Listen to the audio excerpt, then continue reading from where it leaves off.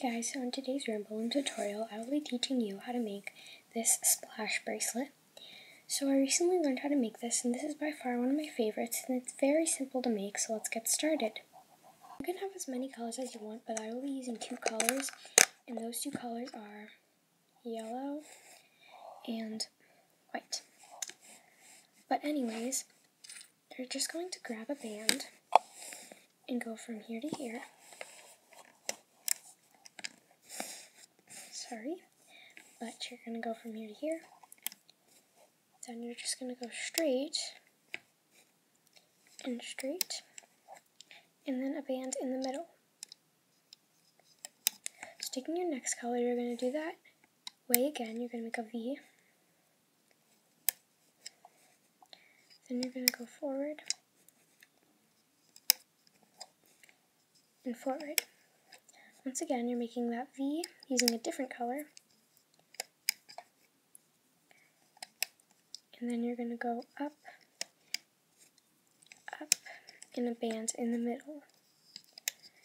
So you're just going to repeat this down your loom. So to make the last part, you're just going to go here to here, here to here. You're going to go forward, forward, forward, and with the second color, we're just going to make the V.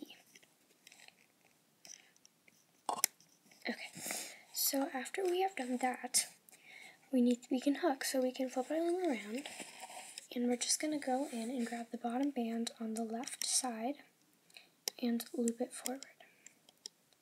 Now in the middle, we're just going to grab that bottom middle row band and loop it forward, and then on the right side, we're going to grab that bottom band, which should be a different color than this part, and bring it forward.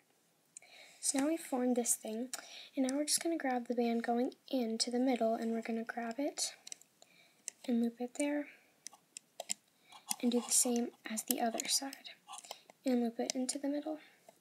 So now we're going to do this process again, and we're going to go in, grab that band, loop it forward, go in, grab the bottom middle band. There are a lot of bands, but you can loop it forward. Then you're going to grab that next band, loop it forward in the band going in. You're going to loop it in and loop that band. Sorry, in. So I'll show you how to do this one last time. Go in, grab that band forward in the left row. Go in, grab the bottom middle band. In my case, it's white. You're going to loop it forward. Then you're going to go in, grab that band, loop it here, and grab the band going into the middle to the top.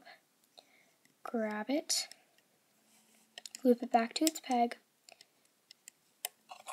and grab the next band on the other side and loop it to its peg. So we're just doing this until we reach the end of our loop. So like any other ordinary bracelet, we're just going to go in all the bands, bring it out with your hook, place a band on, bring it through, place it back on, like that, and then we can just take off our bracelet.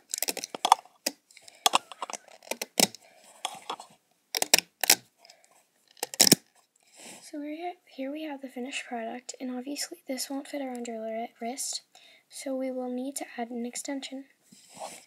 Let's make an extension, you're just going to place bands in a single chain until you reach the desired length of your wrist. So now we can flip our loom around, grab this part where you have on your hook off, you're going to take it off, place it on these two pegs.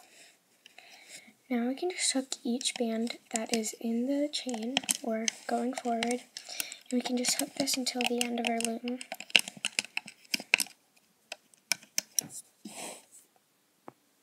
Now we can just stretch this here, get a C-clip, put it on that band that we stretched, and take off your extension, and just attach to these two bands, bring it here, and there we have finished our splash bracelet. Hope you guys enjoyed, don't forget to comment, like, and subscribe. Bye!